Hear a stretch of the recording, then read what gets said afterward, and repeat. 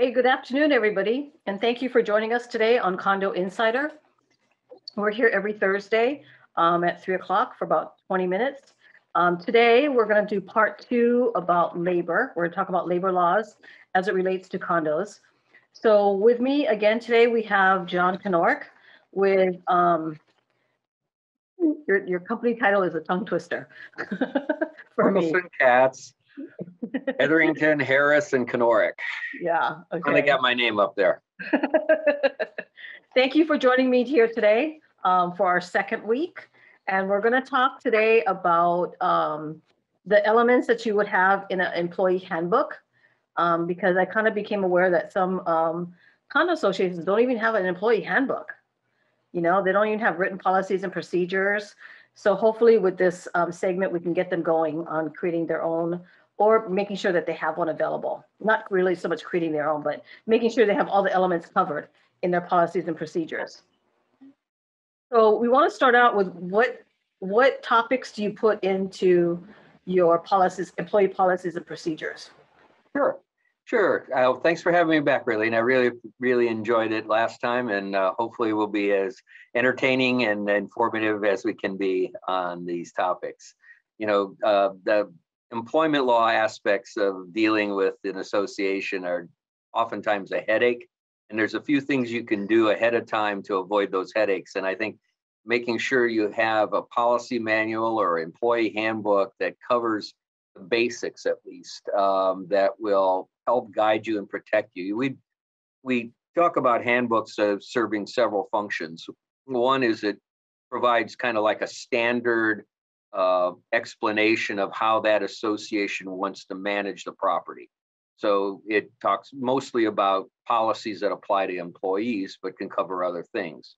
So one, one reason to have a handbook is so that employees can look at what your policies are and answer their own questions, saving managers a lot of time and avoiding different managers having different interpretations of what the policy is. Uh, so that, that kind of consistency helps.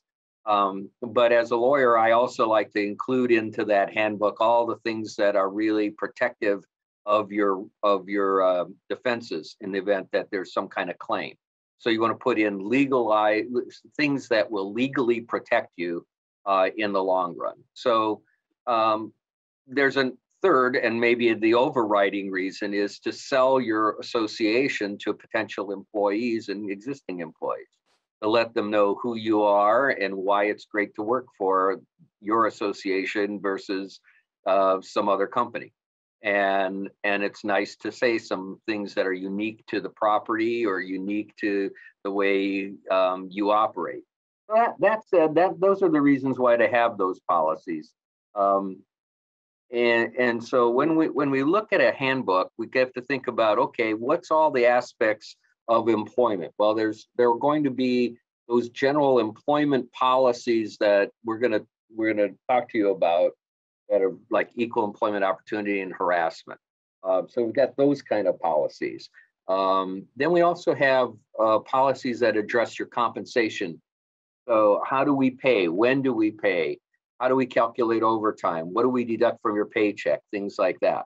And then we'll have a section on benefits.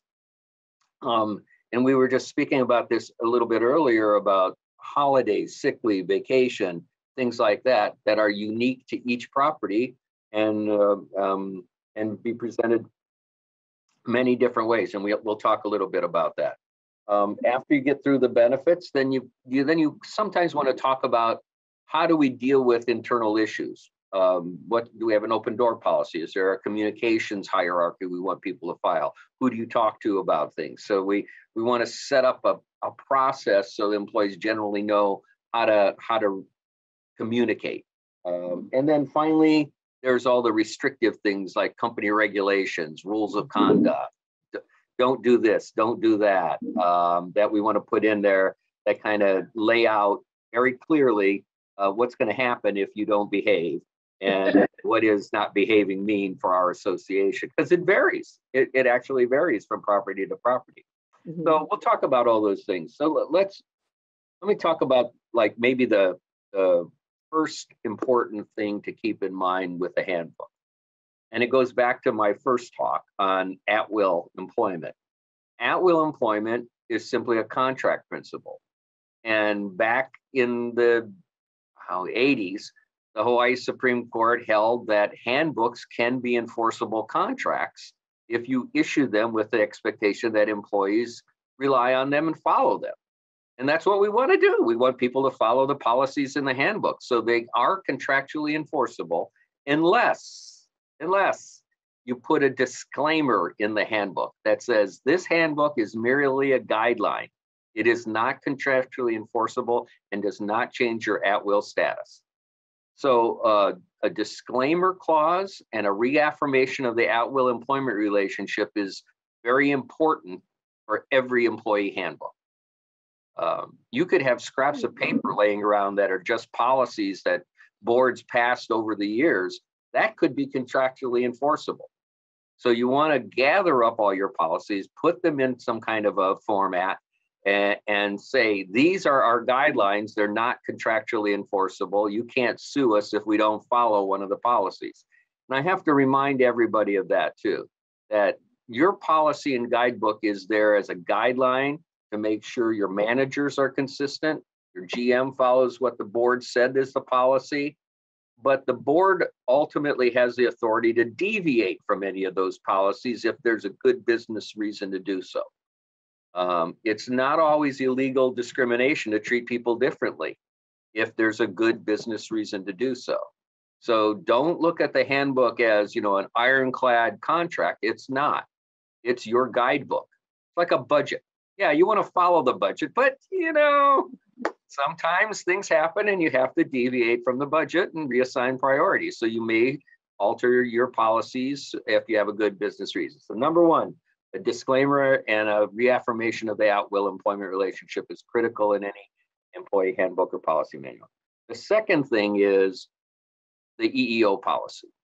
Um, every time you get involved in some kind of discrimination litigation, the first thing that you're going to get asked by the agency doing the investigation is send us a copy of your EEO policy that you've shared with your employees. And if you don't have one, they're going to go, uh oh, you're not a good employer you're not telling people you're not going to discriminate. Um, I had that happen today. Uh, it was in an EEOC investigative interview, and the EEO asked the company, "Where's your policy?" We had one, um, but you know, they that's the first Didn't thing. know where it was. they're- first, first thing they're going to ask. Um, so you want to make sure your EEO policy isn't cut out of some mainland handbook because we have unique categories of protection that we talked about a little bit last time in Hawaii that include, you know, gender identity expression and victim of domestic and sexual violence. So our EEO policy is not only going to say we we don't discriminate against race, sex, and religion, but all these other categories. So we're going to have that in there. And we're going to have a harassment policy too that says, in addition to discrimination, we forbid any form of harassment. And we will identify in that harassment policy who can who is prohibited from harassing you. So as an employee, you are not supposed to be harassed by your supervisor or boss, by your coworkers, or by owners, residents, vendors, contractors, or any third party that comes onto property. But we also want to tell employees very clearly, if mm-hmm. you feel that you're being harassed or discriminated against in any way, this is what you do. You call the general manager. You call or tell the property manager. You call or tell the president of the board. And you want to provide alternatives to just one source. Okay. So that if that person is the problem, you can go around that person. And ultimately, the board president, I guess, has the has the ultimate uh, responsibility. We don't always include the board president into these policies because you don't want to include anybody that doesn't understand what the legal obligation is towards your employees. And if your board president hasn't been trained on how to handle a harassment complaint, you're in worse shape putting that, that person's name on the list of who to complain to than you are just limiting it to the general manager and property manager. And I, I and I, and it's it's, you know, you got to kind of think through who the board president is or whether your association wants the board president to be involved in these kind of things if necessary. Um, or just have the general manager and property manager, if you have one, uh, if, uh, to, to report to the board president whatever complaints are made. That might be the better way uh, Right. sometimes. Now, that said, many of the property management companies have model handbooks that they will provide to you as a, as a, a managed property. And that's a, that's a good basic format. I've reviewed several of them in town. Um, but everybody is a little unique. So uh, when you do adopt one, it's always good to have legal counsel review it just to make sure that you haven't changed something that shouldn't be changed or deleted something that should have been kept in there. So the next, after, after we get through the disclaimer at will and then the EEO policy on dis- discrimination and harassment with a procedure to report it and language that says, you know, we're going to take appropriate action to end this harassment is and all the rest of the things that legally you should say. The next policy that's kind of important to have is a whistleblower policy. We like to call it an ethics policy. And what it does is it parallels the language in the Hawaii Whistleblower Protection Act that tells employees that we don't uh, retaliate against any employees for reporting things that they think are illegal or unsafe, or for pointing out a breach of a contract with the city and county, or anything like that. So we have one of these general kind of policies that basically track the same reporting procedure that we use in a harassment policy, but address employees' internal complaints that they feel show that the company is doing something illegal or unsafe or just unethical in some way that raises a concern so that we catch those things before the employee feels that they've been treated unfairly or retaliated against for raising them. Uh, and then we tell employees, we won't retaliate against you for raising these things in good faith. So if we know that you know it's false and you're just making up this allegation to get even with a coworker or your supervisor, you might be disciplined. The same thing would be true in a discrimination or harassment claim, but um, the point of it all is, yeah, you have to make these allegations in good faith. So we have an ethics whistleblower policy in almost every handbook. The other, I think, critical policy along those lines is to have a policy that forbids any kind of workplace violence, threatening or otherwise. Um, and we call that a productive work environment policy. There's always a good political, politically correct way of saying whistleblower, and that's ethics policy, and correct way of saying workplace violence, which is a productive workplace environment policy. And, and basically it forbids any kind of threatening or intimidating conduct in the workplace, including bullying. And that catches a lot of bad behaviors before they get in, get into a level of being legally actionable in some way. And um, as I may have mentioned before, Hawaii OSHA says that every employer should have a workplace violence policy as part of its overall safety obligations. So at least I know of one case where a Hawaii company was fined by uh, Hawaii OSHA for not having a workplace violence policy. So it'd be good to incorporate that into your employee handbook. So now we've got all these policies about, you know, if you feel you're discriminated against or retaliated against for pointing out something illegal or unethical, or you're getting threatened, this is how you report it. This is who you report it to. This is what we're going to do about it and you won't be retaliated against for in good faith reporting these things. So that's kind of that gets you through the the, the normal kind of EEO and policies. But then you got to get into the mandated benefit laws like payment of wages and and uh, overtime and things like that. So there's always a section on compensation.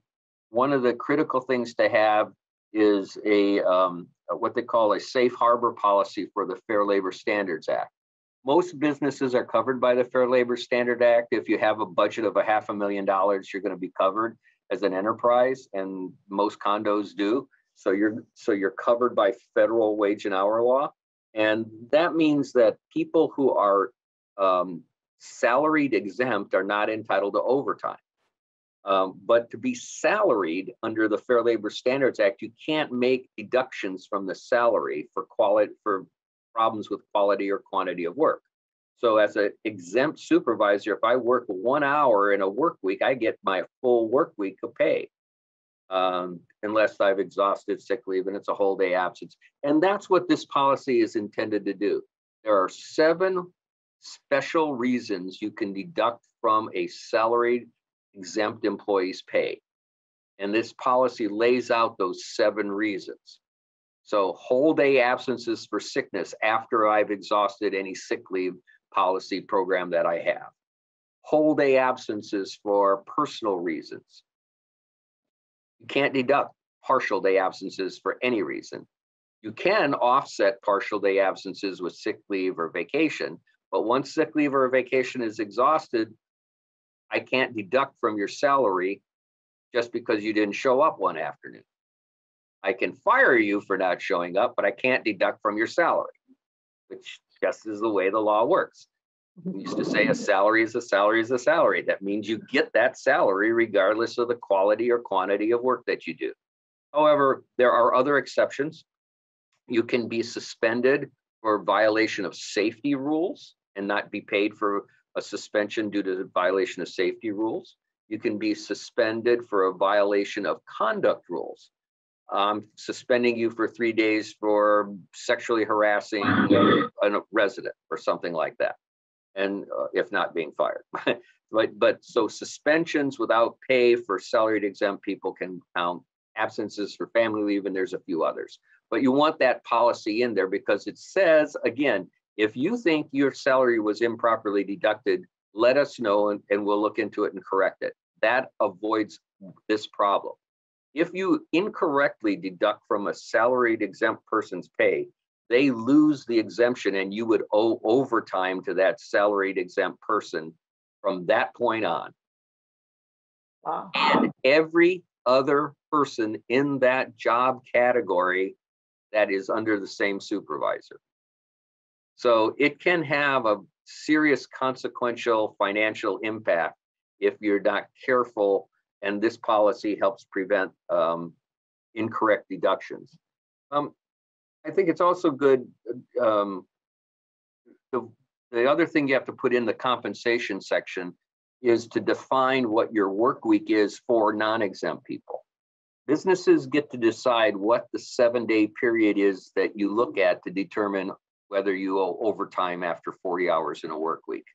So for your non-exempt folks, they need to know it's Sunday through Monday or Tuesday through Monday or Saturday through Friday or whatever seven consecutive days you want to use, you get to define that. And it may vary based on your schedule, operations, however you want to look at things. But the wage and hour laws all look at overtime and your pay obligations based on your seven day period. Everything is done week to week. There's no such thing as comp time you have to get paid overtime for um, any hours worked in excess of 40 in a work week. So we want to define what our work week is. And we also need to define in this benefit section what our sick leave, vacation, or PTO policy is. The state wage and uh, the state laws in Hawaii do not regulate how much vacation or if you give vacation. State laws do not regulate how much sick leave you give, or even if you do pay for sick leave. Some businesses don't have sick leave, some businesses don't have vacation, and you don't have to, or PTO. But the state of Hawaii says under the payment of wages statute and regulations that if you do provide sick leave or vacation or PTO, you have to tell employees what that policy is in writing. And if you're going to change it, you have to inform them in writing in advance of any change. So you can't just say to somebody after they plan their vacation, oh, we took vacation away from you. We, I'm sorry, we didn't tell you. You have to tell them in advance because the state will enforce your policy, but there's no mandate on whether you have a policy to provide it or not. Um, and likewise, there's no no policy and no law that requires you to give people time off or pay for holidays. Just because the government shuts down doesn't mean you have to shut down and or get paid extra for working on that holiday. Um, and so uh, if you're going to give employees some extra benefit like a hol- holiday pay or a day off on a holiday, that should be in your employee handbook. And that is, again, something that's completely uh, unique to each property. And I mean, if, if you're in a healthcare institution, you got to work every day of the year anyways. Yeah. So you don't need to have holidays basically, uh, or you could pay, you know, some kind of premium pay if you're scheduled to work on a holiday. Um, there's another state law that requires that employers grant a period of leave to employees. Um, that's the victim, uh, the Victim Leave Act, and it has to do with victims of domestic or sexual violence. Uh, businesses that have less than 30 employees or something like that have to grant up to five days of unpaid leave. And businesses with more employees have to grant up to 30 days of leave, during which time employees can use any form of applicable paid leave that they would otherwise have. So like if you do give vacation or sick leave, and that would apply to my absence because I'm seeing a counselor or I'm seeing a doctor or I'm seeing a, a psychologist or something. Yeah, then then I would get to use my paid leave and that absence for that five days or for that 30 day period is protected, meaning it can't be used against me uh, for attendance purposes um, or anything like that. Uh, and I'm guaranteed my job uh, when I come back from that kind of leave. So victim leave law, another important one to include. And if you have more than 50 employees, and that's a, there's a few, there's there's several uh, uh community associations that have over 50 employees, and Mhm. surprisingly, it's not that unusual. Uh, you're subject to the Federal Family and Medical Leave Act, and you should have a policy on federal family and medical leave which generally grants up to 12 weeks of paid of unpaid leave a year. Uh, there's some exceptions for military leave that go up to 26 weeks, but the basic rule has to do with my own illness or um, if I'm caring for a family member that's ill. Um, and then you get up to 12 weeks of protected leave and guaranteed return to work. Then when you come to the end of your handbook, you ask everybody, I acknowledge that I've read this handbook, understand that I have to comply with these things, although it's not a contract. And I understand that I can be terminated at any time for any reason as long as it's not an illegal reason. And I agreed to abide by these policies and rules. And if I owe money to the company, I agree to pay it back when I leave. And if I don't, then uh, they can have it deducted from my final pay. And that's your handbook acknowledgement page. Several paragraphs, I signed my name, I read the handbook, and now I'm bound by it, but it's not a contract. so that that's that's kind of the handbook. And the, the other section of the handbook, which takes up a little bit of time and effort, is to make a list of the rules of behavior that you expect your employees to follow what can I be fired for? They used to call them codes of conduct or rules of conduct. And it's like, you know, it says your employment is subject to termination for any of the following reasons, including but not limited to.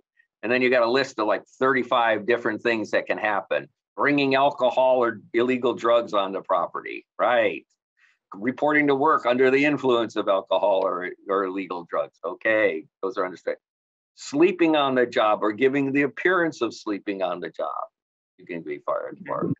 I wasn't sleeping. Yeah, but you were looking like you were sleeping. You had your hat pulled over your face and you had your feet up on the on the security desk at midnight. I'm sorry, you're fired. Um, you know, so so all those kinds of things that you might put in um, treating treating residents and owners with respect. You can put in all kinds of uh, of things that are are unique to an association's kind of operation or, or just generalized. And th- those are, are generally listed in these model handbooks that um, the that the property management companies have for you if you're one of those, or um, our law firm every year with the Chamber of Commerce of Hawaii publishes a desk manual on employment law. Um, there's a seminar at every August that we give that includes a sample model employee handbook in the back of it. Uh, Okay.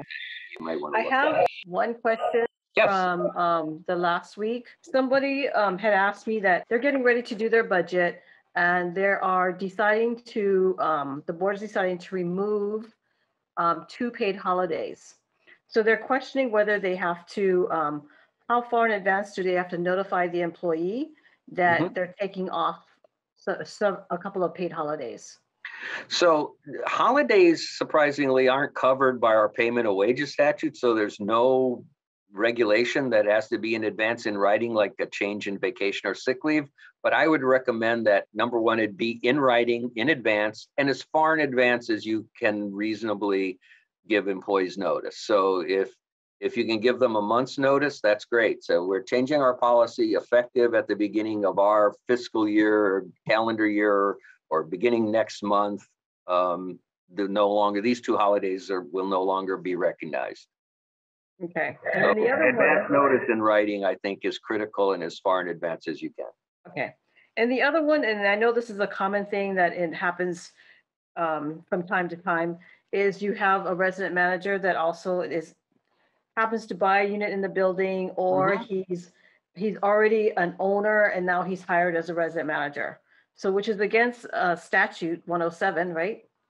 Um, so, I mean, how does that, I mean, it- I Well, mean, The one thing I do know is a resident, once you're a resident manager, you're not allowed to solicit proxies or do anything like that in an election, but if Right. you're an owner, you can. So I don't, you're, you put, you put your resident manager in a conflict situation if you, if he's also an owner. So I discourage as much as possible associations from hiring anybody that resides on property as an owner.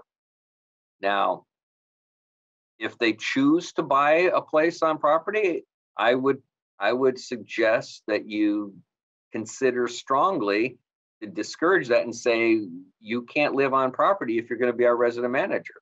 Because here's what happens. Everybody's resident manager leaves sooner or later. And mm-hmm. most often they leave under terms that are not really cordial between the board and them.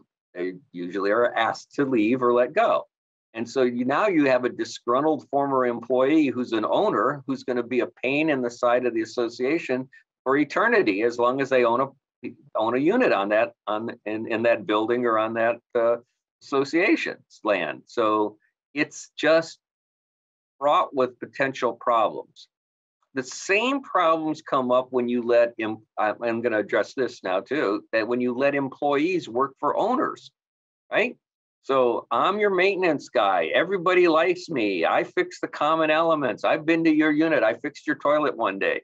Now I hire you off when you're off duty to come back to my unit and fix some of my plumbing or whatever it might be. Then the owner, if you do a lousy job, the owner can sue the association saying, well, you, you recommended them, you hired them, so I thought they were okay to use. And now they did a bad job and ruined all my furniture and I'm gonna sue the association. Or that employee steals from them and they say, well, you were negligent in hiring them and I wouldn't have hired them for myself if you didn't have them working here. Uh, or that employee gets hurt and says, well, I think I was just doing something for the association, so now the association's workers' comp applies. It's dangerous. It's dangerous to let employees work for owners outside of their normal work hours. That outside employment should be limited to off the property for non, non-board members, non, you know, not on property. Just like keeping the resident manager from living on property. You just don't want that, that extra liability. okay, so we're out of time. So Oh. I really want to thank you, John. Already? for um, participating. I mean, that was really quick. I mean, we could do another day of this. Okay, So I really want to thank you for doing the two weeks that we did. Um, okay. and Hopefully, we, I can come, uh, you can, I, we can come back again and talk a little bit more about labor because it is such a big subject for condos. Yeah, I think we could, we could talk about terminations and arbitration agreements if you want to some other day. Yeah, that'd be great. Okay, so thank you, everybody, for joining us. We'll see you back here again next week on another subject in Condo Insider. So thank Thank you. you and have a great weekend.